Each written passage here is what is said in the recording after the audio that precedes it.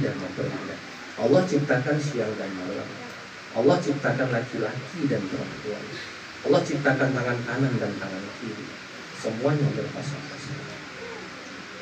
Apakah dengan adanya pasangan itu perbedaan yang ada itu justru akan menjadi pecah belah? Tidak. Sudah barang tentu Ismail dan kita memiliki latar belakang kehidupan yang berbeda, pendidikan yang berbeda, karakter keluarga yang berbeda.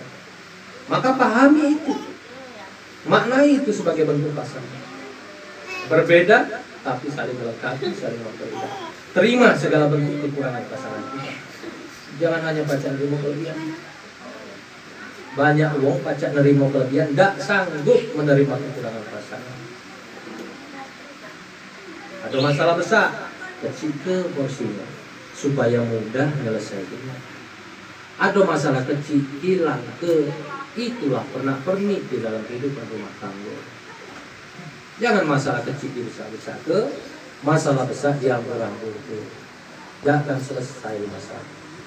Setiap keluarga pasti ada masalah. Tanya sama yai, tanya sama mama, sama kakak yang sudah terlebih dahulu menikah. Pasti ada masalah.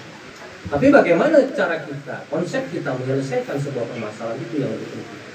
Karena tujuannya adalah sama-sama memiliki visi dan misi yang sama mencapai kebahagiaan dunia dan akhirat. Itu tujuan pernikahan yang sama kebahagiaan dunia dan akhirat. Bersama-sama. Berdua dengan keluarga kita anak dan istri kita itu tanggung jawab Ismail sebagai seorang terakhir kalau Allah nanti menitipkan kepada kalian keturunan. Tolong menjaga keturunan itu dengan baik. Mereka itu juga bagian dari amanah yang harus kalian pertanggungjawabkan di akhirat. Tapi mereka juga adalah investasi besar bagi kalian di dunia dan di akhirat karena melalui doa-doa anak-anak yang soleh dan solehah yang senantiasa mendoakan kebaikan dan mohonkan ampunan dari Allah Subhanahu wa taala kepada kedua orang tuanya. Itu yang nanti akan kalian harapkan di akhirat.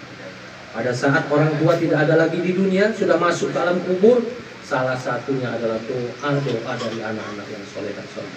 Maka dari itu ajarkan mereka nilai-nilai agama. Kenalkan mereka dengan Allah dan Rasulnya. Ajarkan sholat, ajak sholat. Jangan ngajak anak sholat. Ismail masih di pos kamling. Masih main gap gak apa kalau kita ngajak anak sholat ajak anak-anak dengan istri sholat ajarkan ngaji. Ajak mereka. Kalau kita keterbatasan ilmu agama yang kita punya ajak. Panggil guru atau ajak suruh ke masjid untuk belajar agama itu cara